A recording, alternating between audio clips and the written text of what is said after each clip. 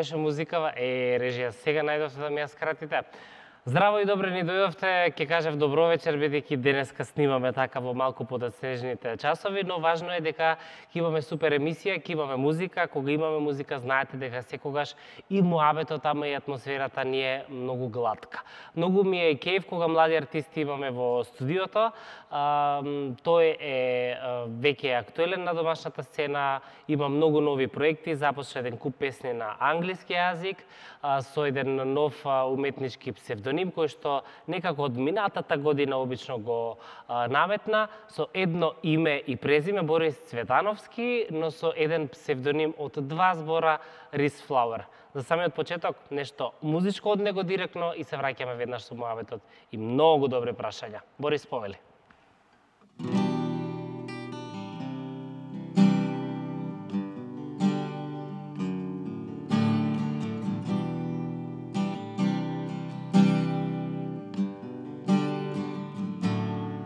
have a soul that never got sold. One of the souls that never got sold. Listen to your inner voice. You know what's the real choice right now. Right now, my heart explodes never got sold. My mind's blown, but never got sold. There's a truth, well, let's believe it. There's a truth we won't believe in. Don't care what others say. Cause I'm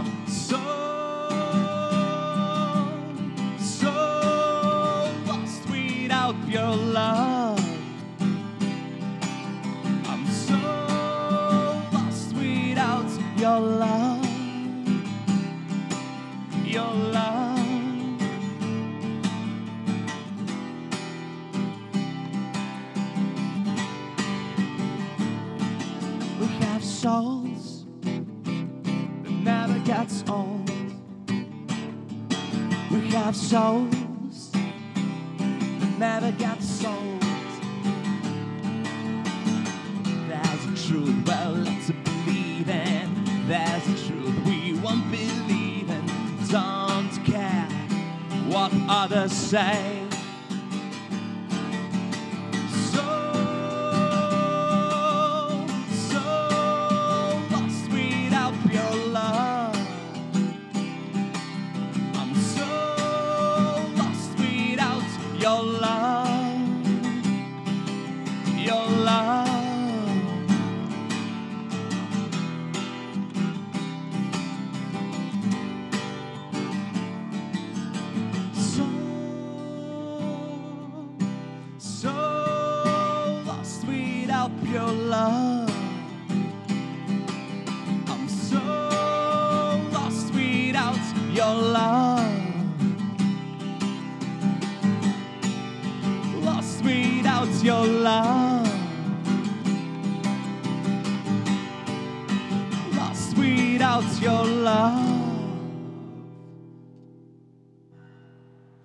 Браво!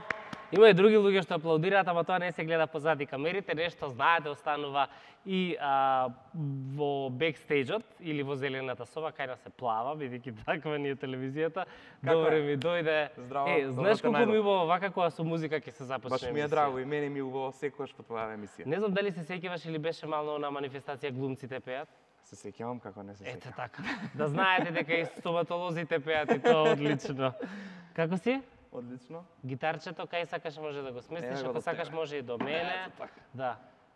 Кажи ми, ова е само твоја, исклучиво твоја и не сме никој да ја допре или ја даваш и на други музичари? Имаш чест сега што седиш до неа. ова е гитарата, ова е гитарата што а, е со мене од сам почеток. Аха. Значи, има има подобри многу, има многу поквалитетни, има многу поскапи, ама ова е таа која што највеќе ме инспирира во звукот. И Не секогаш ја носам. Не се до парите, знаеш. И секогаш ја носам со, со, со себе и е мој верен другар и сопатник. Е, супер. А Сам ги менуваш жиците или? Па зависи кога како. Тоа зависи. да, зависи кога како. Овие жици ги сменив сам. Е, супер, браво. Значи те бива и за, за тоа, веројатно педантеријата и пипавоста која што имаш во стоматологијата те тера нели и во музиката да да биде. Мора, мора и во двете професии да биде се совршено или дозволувате некогаш како беше англискиот go with the flow, Go with the flow, да. малку да ја пуштите ситуацијата. Нешто што е а, карактеристично за двете професии, Музиката. нешто што ги спојува двете мои професии, музиката и стоматологијата, би можела да кажам дека е прецизноста. Мгм. затоа што треба да бидеш прецизен во двете во двете работи. Меѓутоа, а, па и двете работи се доста креативни и креативноста е онаа која што ја која што ја разбива мон- монотонијата по двете работи. така. Така наоѓам спој некако помеѓу прецизноста и креативноста. Ако те боли зап, има музика која што може да ти помогне помалку да те боли. Ајде секој нека си ја најде својата музика. Како ја тргнав темата, ќе зборуваме на крај за протези. Се шегувам. Добар ли си? Одличен. Супер. Со работа, нон-стоп, активен на, на сите страни. Се издржува. Декември и за тебе знае да биде најнапореден месец или некако успеваш да да балансираш? Не се жалам. Што значи тоа? Тоа значи дека имам имам доста ангажмани, а, доста ангажмани на на сите полиња, Така. така што уживам во тоа. Супер, супер, баш ми е драго. Веројатно кога ги правиш работите од срце и затоа што навистина сакаш да ги правиш, колку и некогаш да е мачно, сепак е сладка мака. Таа, нели? Да. Има многу новитети, многу нови работи, освен Дрис Флавор, кој што некако од минатата година, ако не се лажам, или Па, помина веќе а, две години. Не помина, не помина две години, Не помина. помина година и некој месец. Так, од Да. Од прилика е една година, да. Да, кој што се година. поврзува со оние песни твои на англиски јазик. Да. а, социјално или интернационално да шириш, после година и нешто, а, колку си задоволен од како овој звук се слуша на страна? Нешто ми даваат знак, ајде, повели. Не ми работи тонот? Треба на страна. Базата не ја чепка, јас не ја чепкам базата, базата мене ме чепка. Океј, се е тамански. И до кај бевме со муабетот Борис? До една година Рис Флауер. Една година Рис Флауер. Што значи ова една година Рис Флауер и а, дали од, оди според а, планот? Се пронајде повеќе во англиската верзија или како што велиш во интервјуата не размислувам на јазикот, едноставно се трудам емоциите нели да ме понесат без разлика во која насока ќе отиде песната. Знаеш како, најискрен одговор би бил а, кога го започнав проектот, не знаев точно во што се впуштам. Јас знаев што творам, знаев што имам, знаев каков продукт имам, меѓутоа не знаев во што се впуштам.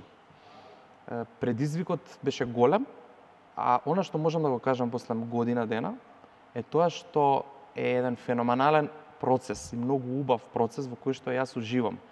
А, тука спаѓаат сите оние патувања, сите оние нови е, нови познанства, сите оние е, луѓе кои што де факто се насекаде низ светот. Англискиот јазик е добар за комуникација помеѓу луѓето насекаде, ја препознаваат музиката, им се допаѓа на дел од нив, тие интеракции, тие едноставно е еден процес во кој што јас научив да уживам. Тоа како е прифатена музиката е е едно големо прашање. Постојат многу различни е, метрики по кои што може тоа да се да се да се прати. И Јас сум задоволен од пласманот и од и од тоа како и колку е, луѓе е, до колку луѓе е, е допрена мојата музика до сега. Меѓутоа пак ќе кажам, е, едноставно е неописливо каков убав процес е тоа, да се Мгм. твори музика, да се твори музика на англиски јазик, да се соработува со интернационални артисти, да се соработува со музичари интернационални кои што имаат е, страшно големо искуство е, на секаде на, ни светот настапувале и снимале. Така да. Можам да го замислам. Тоа е исто како веројатно сега да, да и, и, имаме можност да соработуваме со тимот на едни од најголемите телевизиски шоуа. Но се Па, тоа е едно искуство и енергија која што нели Така некако, така Мм. некако.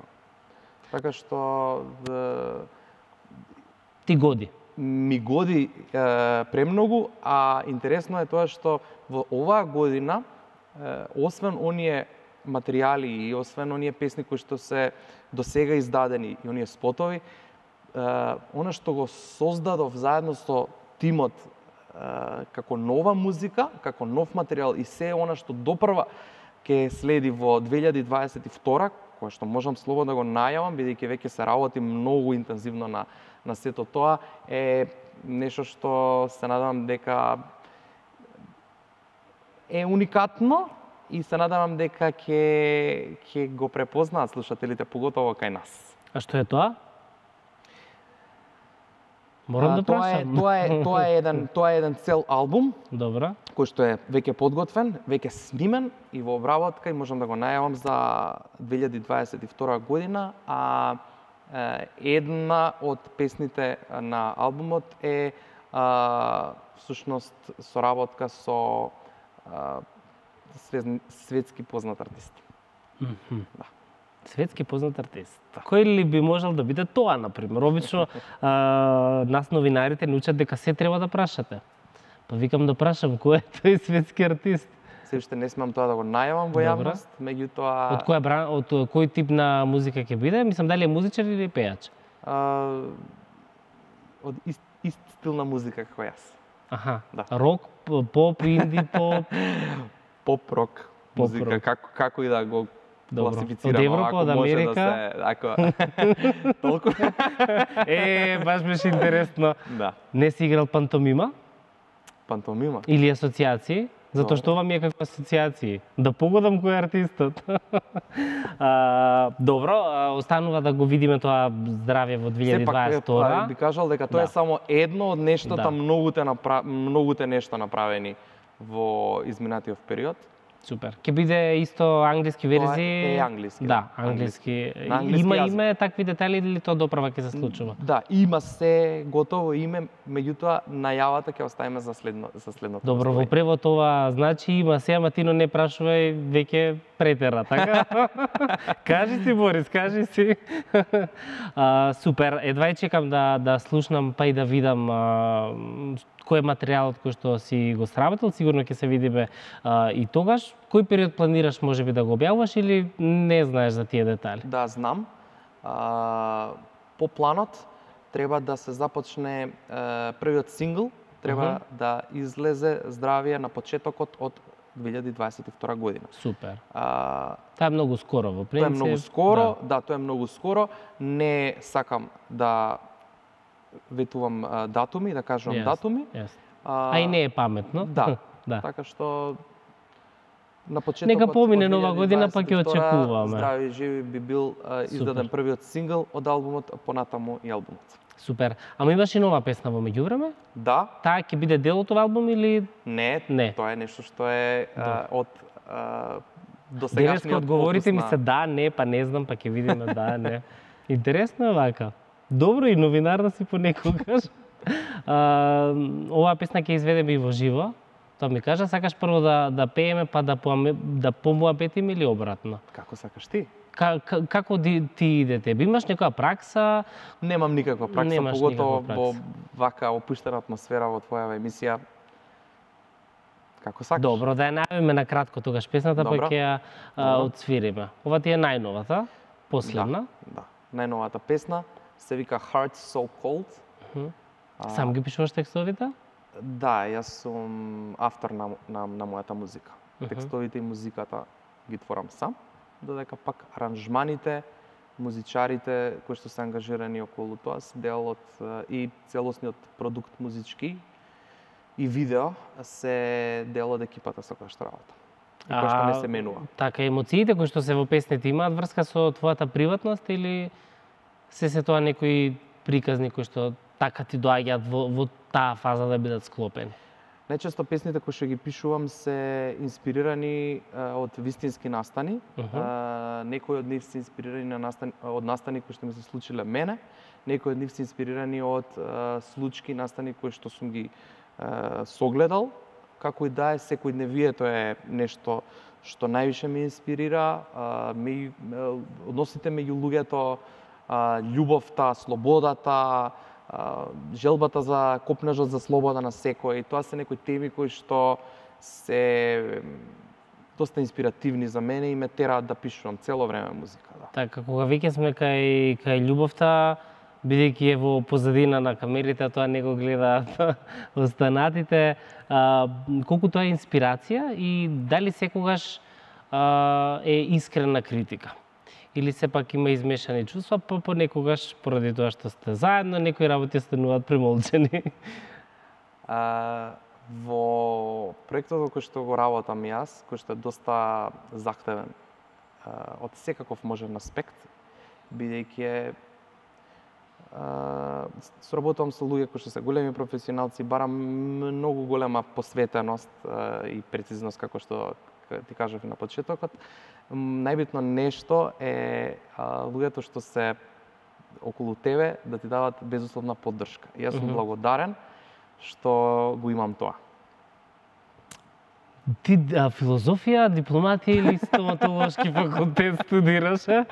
Добро, можам да бидам и поупорен, ама се многу симпатични одговорите, ќе оставам да бидат како такви одговори. Може да ја слушнеме новата песна? Не ми се љутиш, нели? Ако не, мое задоволство. Може, може, повели.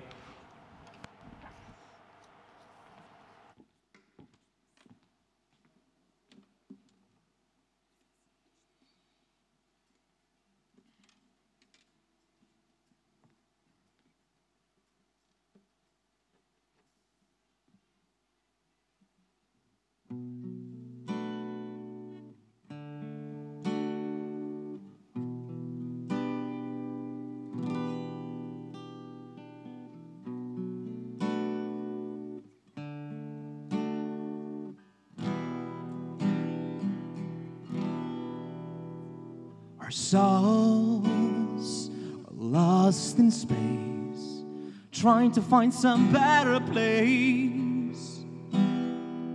You did what you did, now just forget it. Not this time, you won't change my mind. No, no, no, no, no, no, no, no, no. Our hearts are now so cold. La la la la love, la la la la love. We need love more than no, no, no, no, no, no, no, no, no, no. Our hearts are now so cold. La la la la la la la la love. We need love more than no. I don't wanna see you crying, and I don't wanna feel like dying.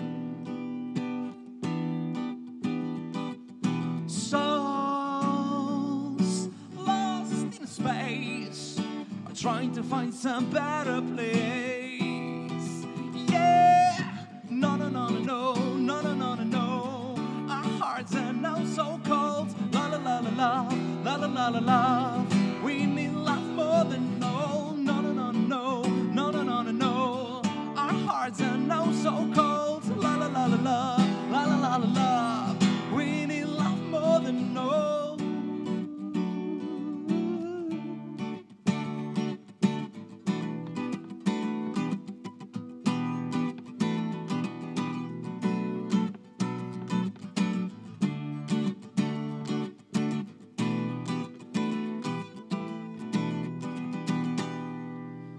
No, no, no, no, no, no, no, no, no.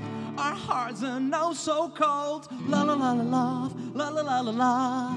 We need love more than no, no, no, no, no, no, no, no, no, no, no. Our hearts are now so cold. La la la la la.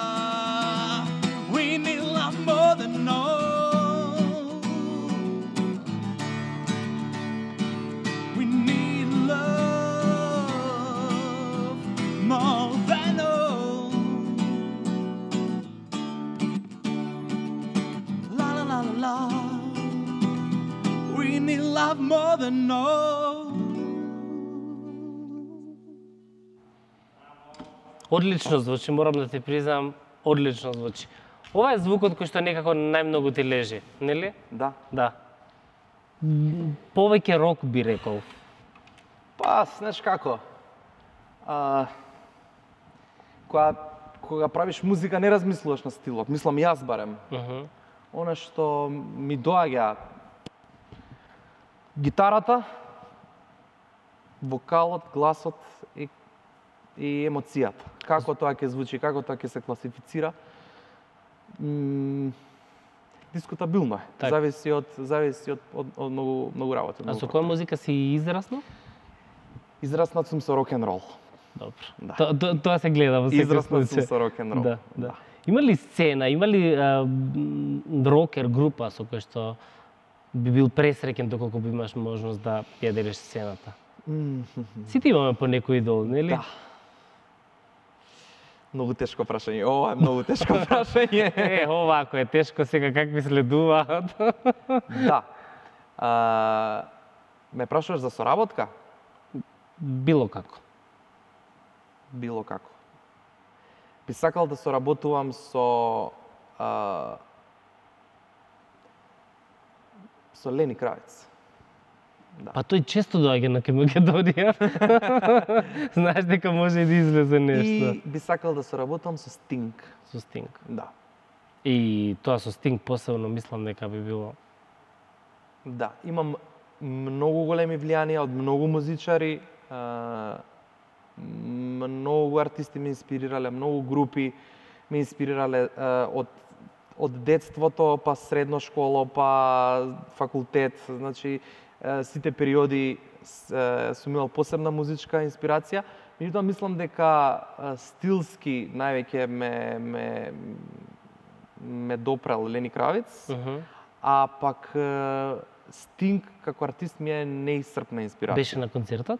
Да, да, Да? апсолутно. И, и како беше чувството да се биде на концерт на еден од луѓето кои што најмногу влијаеле на, на оно што ти го правиш? Многу емотивно. Или малку како во бунило? Субјективно ги, ги, ги, ги, доживувам песните, бидејќи конкретни песни биле а, како музичка инспирација за, за мои одредени одредени насоки на творење, би кажал така. Така да, Има уште многу, сега како ми кажа, ете, имам големи влијанија исто, Девид Боуи, имам е, огромна желба да, доколку имам можност да да соработувам со Тепеш Мод, исто така, тоа е еден бенд кој што мене страшно многу ме инспирира. Браво. Така. Верувам дека ќе се случуваат кога ќе треба да. време, одредени а, нешта, да важно е да ги правиме работите кои што стварно а, ги а, сакаме. А, гледам дека маичката е Рис Flower, сега тоа го забележувам. Аха, да. И некако вам ми на навестува една тема која што за прв пат и официјално нели ќе ја споделиш во јавноста, а тоа е една, може да кажам, модна линија? Па може така да се каже, да. да. Значи Борис влегува и во модата, ама на малку поинаков начин. Не би рекол така. Или не така, добро? А, Тоа е повеќе како мерч, односно како тоа се производи, а, односно облека, која што е инспирирана од а, текстовите на Рис Флауер, така некако. Значи добро кажав јас во модата. Ако е облека е мода. Lyrics, lyrics, lyrics clothing, така би, Так, би, би, го, би го, Би го нарекле, не знам како Да. како во, во која категорија би влегло тоа, меѓутоа е тоа. Интересно, како ти дојде кликот за ова идеја и дали самиот ќе го реализираш целиот процес или направи еден тим па Значи, ова се идеи кои што не се само мои, туку се со се на тимот со кој што работиме, тоа се луѓе кои што се долго време во музиката, не само во Македонија, туку и во и на интернационалната сцена, луѓе кои што се доста искусни и е, заеднички ни дојде идејата за за оваа линија. Ќе бидат достапни Името- само кај нас или планот е да Не, не, не, веќе е достапно на по цел свет. Тварно. Да. Каде, како, како може да го вика, видиме? а, името е Flowwear, а, инспирирано од Riz Flower, Аха. а, а нашата а, порака е Where with the Flow, односно Аха. во превод би било како Да, некои работи на англиски, Не- ако ги преведеме, ќе може да се изгубиме. преведа, да, смисла. Where with the Flow, uh, the Flowware. А, производите може да се најдат веќе на официјалниот uh, вебсайт theflowware.com, Мгм. а исто така и на социјалните мрежи. Оваа мајчка е дел од тие, нели? Оваа мајчка е всушност само мајчка со логото на Riz Flower, Аха. а производите се со а, разни делови на а, специфични делови на текстови. Извадоци од Извадоци, да. текстови. Делови кои што преку кои што сум сакал, кога сум ја пишувал песната, сум сакал да пренесам одредена порака и тие делови во преубави дизајни се се на мајчки, на блузони, на секаков вид на Браво. Браво за оваа идеја. Мислам дека си прв музичар кој што го прави ова на, на овај начин, веројатно, да. Како и да е, интересно и инспиративно. За крај, пред да имаме уште еден краток настап за одјава, а, што си посакуваш за нова година, оваа година? Има ли желба која што се уште не ти исполнета, а би сакал да се случи? Посакувам сите да се здрави и живи. Ова како на мис светот, обично. Не, вистина Да. така.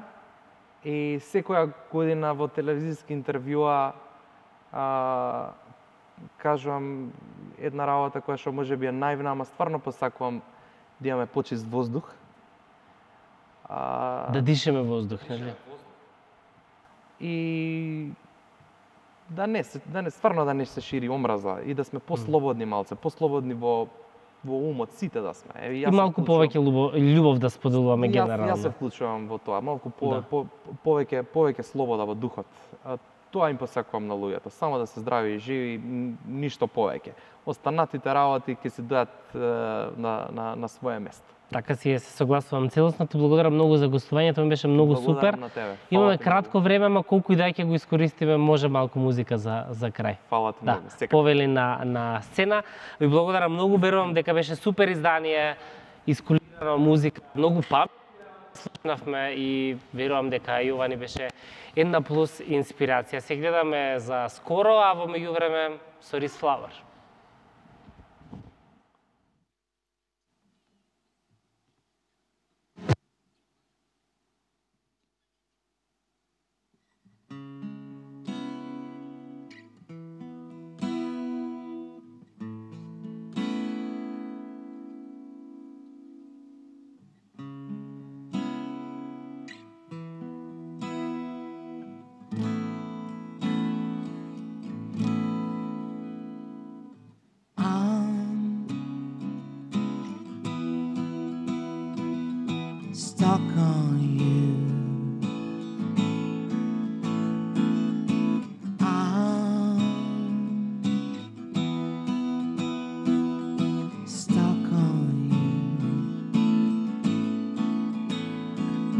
My pulse is running off bits. While I'm walking on a wire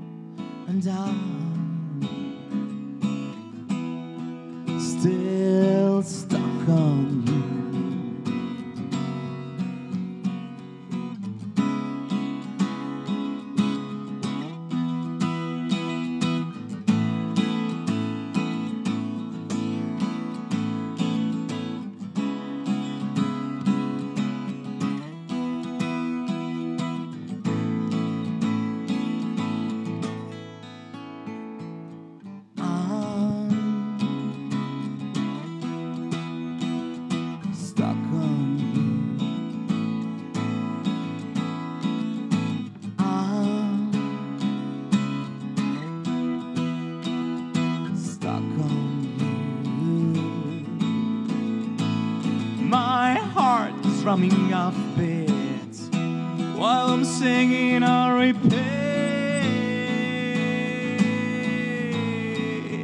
I'm still stuck on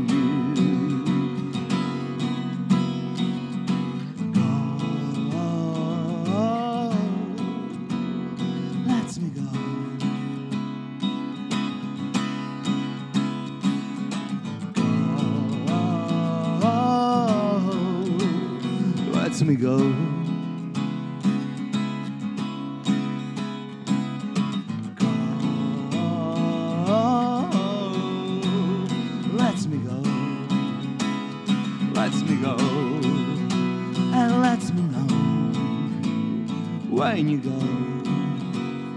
Let's me go.